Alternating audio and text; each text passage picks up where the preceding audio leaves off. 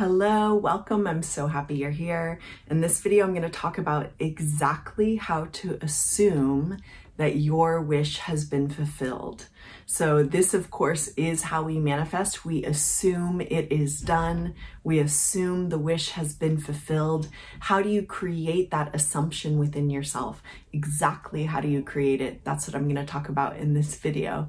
Before I jump in, please make sure you are subscribed to my channel in the corner or below. Also know that I offer lots of self-study manifesting courses. There's 14 courses below. I can help you manifest a specific person, new love, self-love, feminine energy, money. So check out the courses below.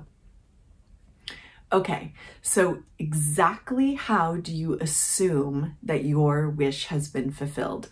Again, you know, I talk about it in all my videos because this is what manifesting is. We assume that we already have our desire. You create the inner assumption with your imagination that you already have your desire. How exactly do you do this? So I'm going to break it down for you.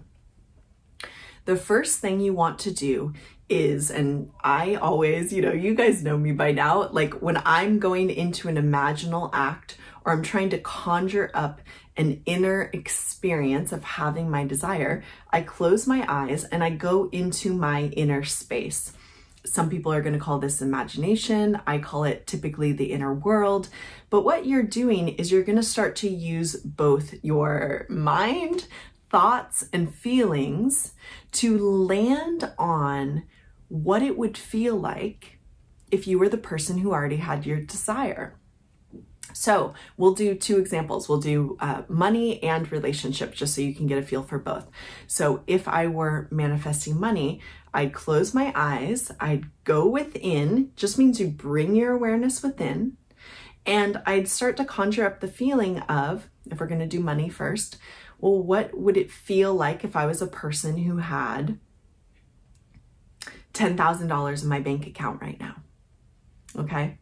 So if that's the amount of money you're manifesting, doesn't matter. It really doesn't matter. You can even just stay very general. It's fine, but you conjure it up. Okay. So you imagine having $10,000 in your bank account right now. What do I feel like knowing that I have $10,000 in my bank account right now? It might feel like, ooh, okay, that's great. That feels really expansive that feels really abundant. There's a version of you that already has this desire. And when you are that version of you in your imagination, you feel a particular way. Especially if you're someone who maybe doesn't have a lot of money in your bank account right now, if you transition to the imaginal space of having a lot of money in your bank account, it's going to open you up. It's going to feel expansive. It's going to feel exciting. Now, what you want to do is you catch that feeling. For me, it's almost like I'm lasering in on that bullseye of the end result. So there's a very particular feeling tone. It, it is associated with thoughts, but it's a very particular feeling tone of having my desire. And it's almost like you catch the feeling okay, great. Having 10 grand in my bank account feels a particular way. I feel expansive. I feel open. I feel excited. By catching that feeling, you have landed in the assumption of the wish fulfilled. You have landed in living in the end. That's like the very particular frequency almost of having your desire. So once you land in it, you want to return to that feeling, that inner experience as much as possible. Because returning to it is going to evoke the feeling of the wish fulfilled and it's going to become a more dominant state within you. Okay, so let's do it with relationship. Doesn't matter if it's a specific person or new person. What you do is you close your eyes and you go within. Okay, what would it feel like if my person, my soulmate, the person I love more in the more most in the world and they love me most in the world was loving me. I knew I was loved. I knew I was chosen. What would that feel like? Okay, you start to conjure up the inner experience of, okay, I feel chosen. I feel wanted. I feel happy. I feel expansive. Whatever words, I mean, you don't have to say the words. I'm just doing it because I'm, I'm sharing with you in this video, but there's feeling tones to being someone who is chosen, adored, devoted to in a relationship. It feels a particular way. It feels very different than being single and feeling unwanted if you feel wanted and chosen and absolutely adored, it feels a particular way within. Now, are you using your mind to imagine your person? You can be, if that helps. So maybe you're thinking of a specific person and they're saying something to you. I love you. I want to be with you. There's no one else like you. Maybe that helps evoke the inner experience. The inner experience doesn't have to be incredibly strong or potent, but it should be making you feel like a new person, like a person who has your desire, like a person who's in the relationship, like a person who has the money in your bank. And this is how you assume that your wish has been fulfilled, or this is how you assume that it is done. You catch the inner feeling of being that person who's in the relationship, who has the money. It feels a particular way. You start to feel a particular way. And then your job is to return to that inner state as much as possible, to practice that inner state as much as possible.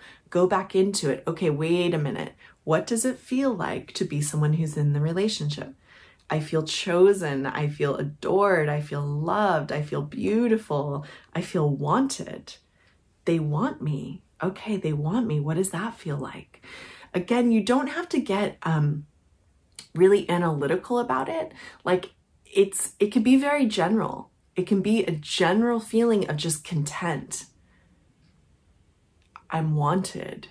I'm um, good enough. You know, it can be general feelings, but what you're doing is you're training yourself out of feeling like you're not wanted you're not chosen, lonely, not with someone, and you're training yourself into, no, I am wanted. I am cherished. I am adored. And by practicing this process of catching the feeling of the wish fulfilled, you're shifting you you're shifting who you are, who you associate yourself to be, how you feel as a person, how you feel as a partner. You are changing. And when you start to feel more and more comfortable being someone who is loved, who is wanted, or who is wealthy, or, or who is healthy, or who is anything you want, when that becomes a very natural experience for you internally, you will naturally manifest it out there. Okay? This is the basis of manifesting. This is exactly how you do it. It's once you really get the hang of this, it can become, I mean, it's very easy and it can be really fun. It's all about just using your inner world to conjure up that inner experience of having your desire. Everything is available to you. There is nothing that is off limits. This is easy to do. It is. It just takes focus and conjuring up that inner experience. And when you become a master of that, you can have anything you want. Thank you guys for being here with me in this video. I love being here with you. Please make sure you like the video, you comment below, and I'll see you soon. Bye.